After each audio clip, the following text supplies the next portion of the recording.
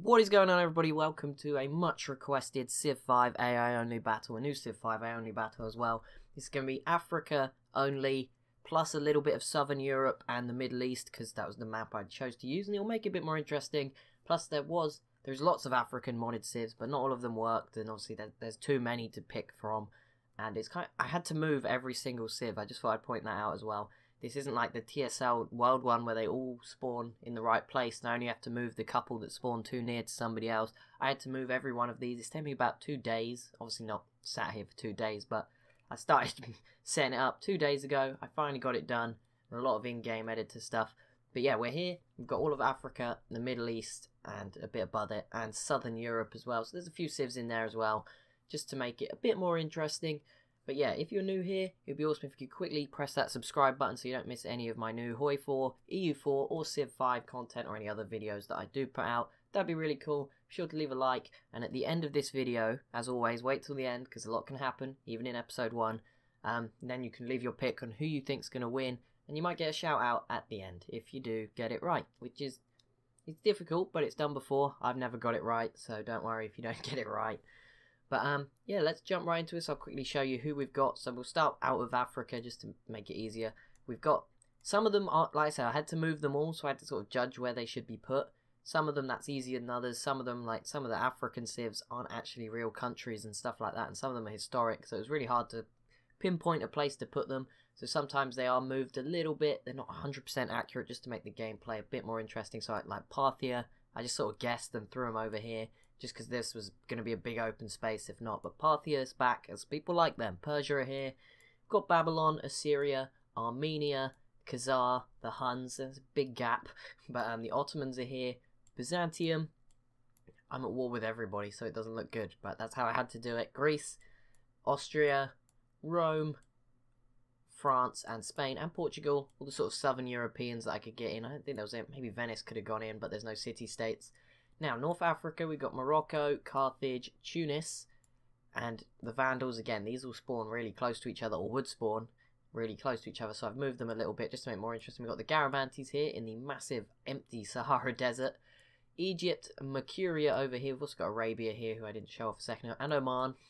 I keep forgetting Oman are there. They'll, they'll surprise me and be there at some point. Ethiopia, We've got the Maasai. I think that's how you say that here. You can't really read their city names. Sorry if that annoys you.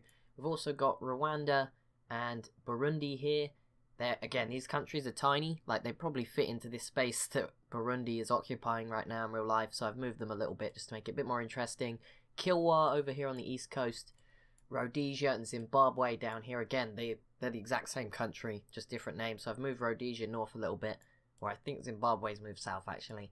And the Zulu are down here at the bottom. Then there's there's a lot of space in this map. This map is huge, so there's going to be some big, big civs all over the place. We've got the Congo all on their own out here. They've got a lot of... Look, we can not see civs for miles from them, but obviously the space will fill up pretty quickly.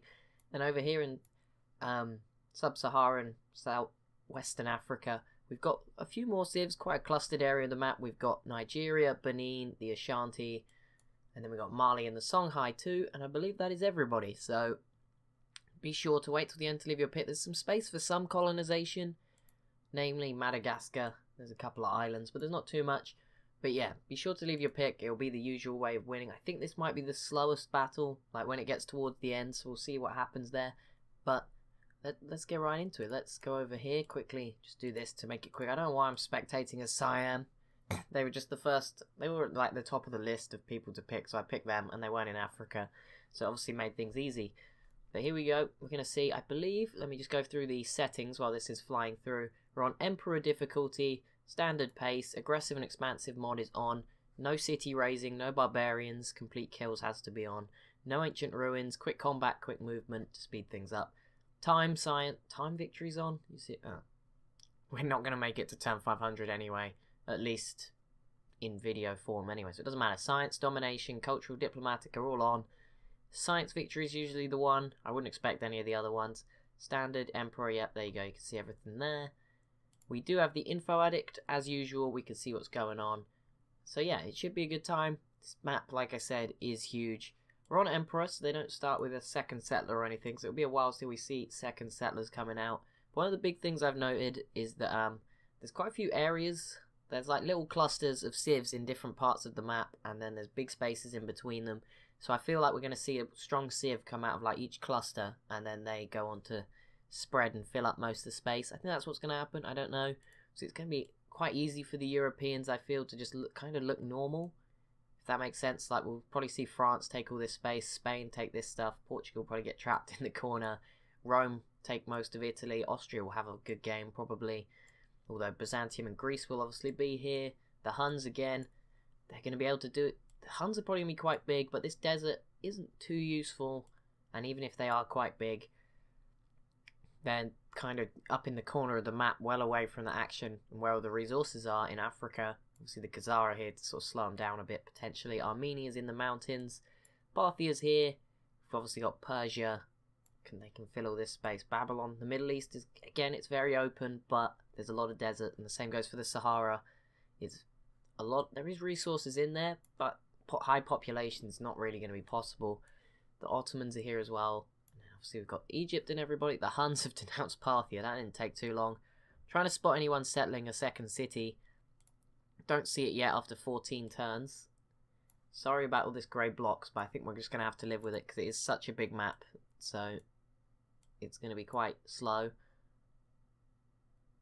So yeah, this this is exciting. Uh, this has been requested a lot. Africa only. A lot of work's gone into it, so I hope you enjoy it. A lot of work, a few hours of work went into it, getting everything set up. Quick chance for me, I guess, to plug the Discord. If you join the Discord server, you'll get to like suggest mods, and I I do listen when you comment like mods and stuff and what to do, but obviously it just gets lost as more comments come in. And also, I can't do everything that's suggested, so yeah, in the Discord, there's also just like sneak peeks, or I won't call them sneak peeks, but you do get to know in advance what's going on and sort of more updates about what is coming in the future. But yeah, here we go. No one seems to have grabbed that second city just yet. First Pantheon, Ethiopia, Goddess of Protection. There we go. Starting off just like a normal game.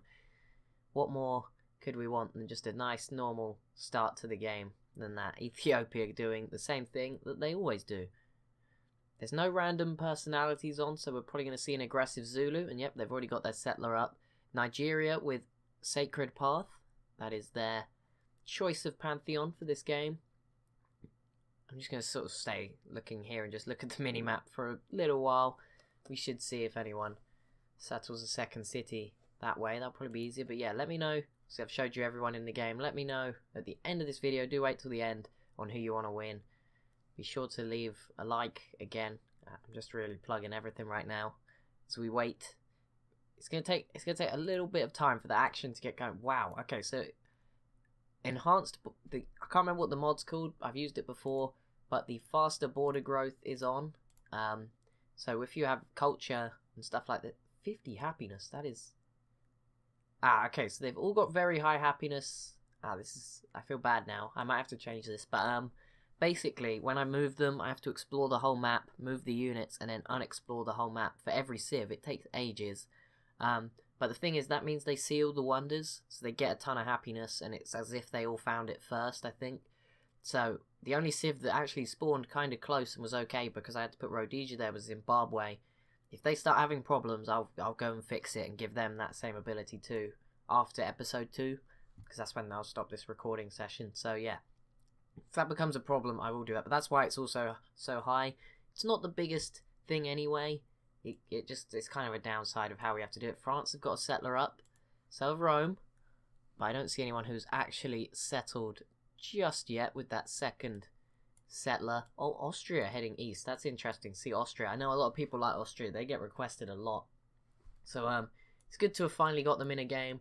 But yeah, I just tried to fit in the Europeans from the base game that actually fit in. I didn't want to put in too many mods, although the Khazar was just there because I thought the Huns had a bit too much space. And again, Armenia was similar.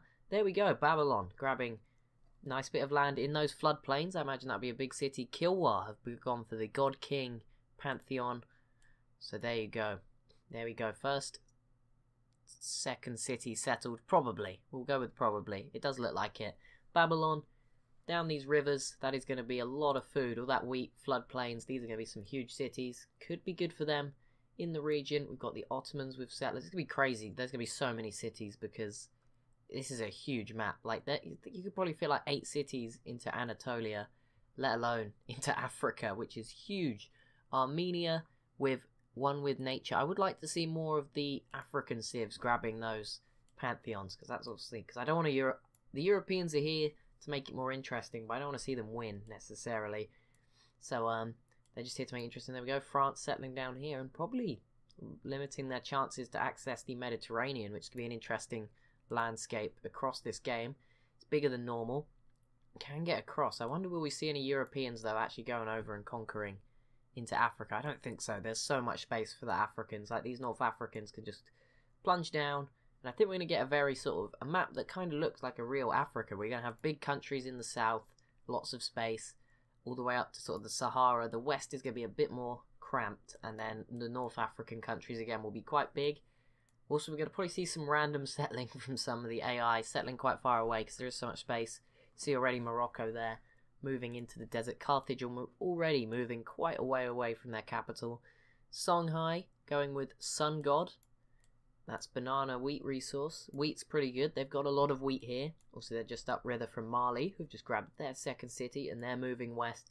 Ashanti are going to need to act pretty quickly compared to most. And look at Benin, by the way. Six population out here in the rainforest. That's pretty good. Um, or jungle. There's so much jungle out here. Look, the science that someone like the Congo could get from here is going to be huge. Hugely, hugely interesting. So we're about to hit turn, I think we'll get to turn 40, episode 1, and I'm going to quickly show you all the civs again so that you can make your judgment a little bit easier. We have the Zulu, two cities already, just down here in the south. They're nowhere near anybody else. But obviously, it will fill up quite quickly. I'm sure it will. It starts looking huge. There we go. Second city from the Masai, Serengit, up into sort of Somalia and the Horn of Africa. Again, this will be another interesting battlefield, potentially. Um, the the Red Sea. I hope that's right. yeah, not so much the Persian Gulf, it's locked off. I doubt we'll see anyone actually settle over here. Oman just chilling on their own. I don't think they've met anybody yet. So that would explain, except Persia. So they're maybe just staying at, staying over here, doing their own thing, which isn't the end of the world. Uh, they can do that if they want. I mean, they're in a they're in a pretty safe spot. They're tucked in the corner. We already have Zimbabwe forward settling Rhodesia. That didn't take too long. No Uganda, I'm afraid. No Knuckles memes. I'm sorry. They did not know the way to make a mod for that. But um, Swahili, I, I call them. I, I will probably say it a lot and call them Swahili, but it is Kilwa is the name of the mod. For some reason, it's called a Swahili settler. I guess like the language and stuff. So yeah, that that that's Kilwa. Okay, so we have Burundi moving south, and already, yeah, even though we said Congo are far away, they're pretty close. Who's this? That's Rwanda, who's these guys, just above Burundi. It's interesting. Already a third settler for Burundi. We have Ethiopia already heading very far away. As I said, we're not going to see the smartest settling all the time. For these AIs, Egypt heading north. Mercury has not started settling just yet. We've got a second city for Persia heading north. Parthia haven't gone yet. Khazara heading south. Attila's just headed sort of a little bit to the northeast. He's already gone in. Austria already gone for the west coast of the Black Sea. They have. Oh, look at Rome already coming around here towards Greece and Austria. Austria may be eyeing that up. If Rome don't build an army to defend it. Spain and Portugal yet to build any settlers. Carthage with its coastal. Did that settler go home? Yeah, I think it was the same settler, just came back. But let's, let's quickly go over everybody. So in Europe, we've got Portugal, Spain, France. This is how they're obviously looking. Just make your pick off this sort of look around. Here we've got Rome, who obviously do have another settler just here. Austria, Greece, Byzantium, bit of a slow start. They do have a caravan, which is, I think, a first. First caravan. Ottomans are here. We've got Syria, slow starters, but they have a big army. Armenia, Khazar, Huns, Parthia, Persia, Babylon. Arabia's here. Them and Oman can probably live in isolation for a bit longer than most people. Egypt and Mercury are here.